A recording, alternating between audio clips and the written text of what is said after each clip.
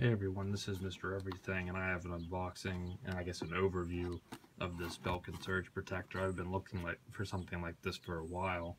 Uh, pretty much anyone I can find. Most of the standard power strips are 6 outlet, this is 12.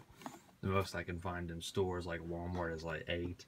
Every now and then I can find a 10, but they're asking like $40 for a 10 outlet when you can buy this on Amazon for usually around $20. It is a surge protector and you get the eight foot cord and then this this joules which I don't understand how those work. I usually just go by amps. And then there's some other things like cable management phone line uh, I guess your coaxial cable. I'm just basically going to use it for the outlets and especially the spacing. That'll be really helpful for things that use like a brick. I really can't fit this whole box on camera but just give you, it says it's an inch thin.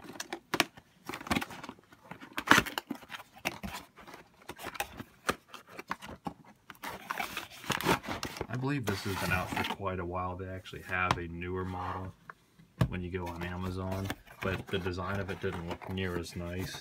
I don't even see it for sale on there, at least not listed as on there anymore. So I guess this is your warranty.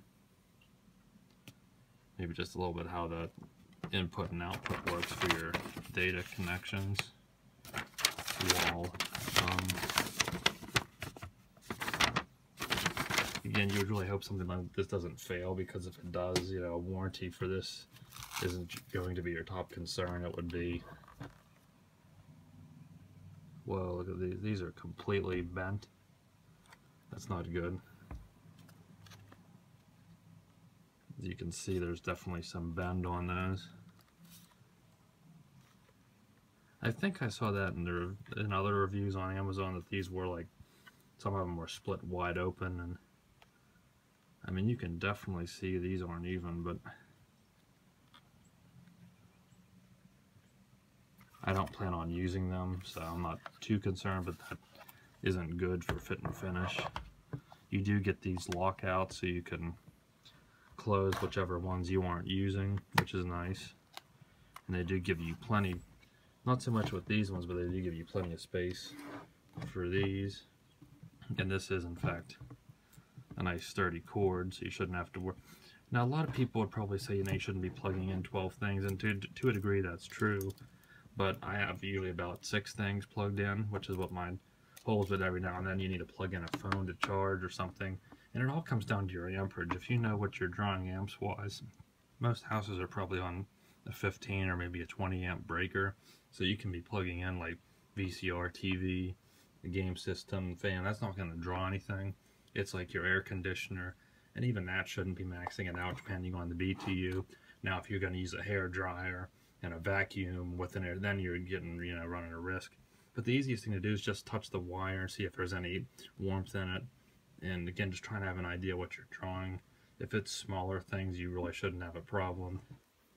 And I really wouldn't be using all 12 so I'm not worried personally. As long as there's no defects in this item itself I'll check these lights and everything. And you do get this cable management which I doubt that I will use but it's there if you it does look like it might pop out if you don't want it which would be nice if it does come off, but I don't want to break it right now. So I'll probably just be laying it on the floor, but it does look like you have some hooks if you wanted to put mount it on a wall or the side of something, which is a nice feature. I might just use double-sided tape if I even have enough space to lay it completely flat. And I just wanted to point out they actually have a sticker over this for your I think that's for DSL, which probably most people don't even use that now. It might work for just phone too. And this also just slides out, so that's pretty easy. But I don't plan on ever using this because my uh, hookups are in the kitchen. I'm not going to run a wire into my bedroom just to use it. That doesn't make sense. So it's there if you would need it, but I definitely do not need that. And then I also noticed up at the top here it does have an on-off switch. I believe it's just off and uh, reset and I would think you could determine what's going on just by whether these are lit up or not And again, the fit and finish isn't the best. I did, to me, this is like the best one you can get as far as having all of this accessible. But again, the build quality is not that great. Like some of these are really loose and they'll slide, and then other ones are like barely to where you can even move them. But as long as it does the job and it's safe, that's really all I care about. But it just it doesn't have the greatest build quality ever. And here's the power strip all set up. Pretty much have it the way I want it. Really know where else I can put it. I want it out in the open so I can, sometimes my laptop, you know, I'm not using it, I just unplug it. So I like to have easy access. I did fill up a lot of these, but again, most of this doesn't draw anything. Computer monitor speakers draw nothing. Lamp that's really ever used, fan, VCR, and then gaming systems use a little bit more, but they're not always on. So again, I think these are rated at 15 amps. And that's usually what most circuit breakers are. So as long as you're not running a lot of things through it and you know what your amperage is and most things shouldn't come near that, you should be fine. So I do have these open ones. And I've seen people that have the big blocks, yeah, maybe there would be some trouble, especially if because you, you couldn't run them in here, but on this outside, if you put one there, you might have trouble getting into these ones, but you do have it's kind of just the way you gotta, I guess, kind of shoehorn stuff in there. But for me, it's not a problem. So if I want to charge a phone real quick, I have plenty of room, or want to hook something up. I just like the extra accessibility now instead of filling up a eight plug or something. Now I have a few more if I would need them. And you can see it is protected. And I've had no issues so far. Never going to use the coaxial or the DSL. Not really going to use the cable management. Mine's not the best, but that's definitely going to be good for me. And it was a little bit slippery, so I put some foam feet on the bottom just so it would kind of get a little traction, but I can still move it if I want to bring it, you know, anywhere else. See the little gray feet I put on it there.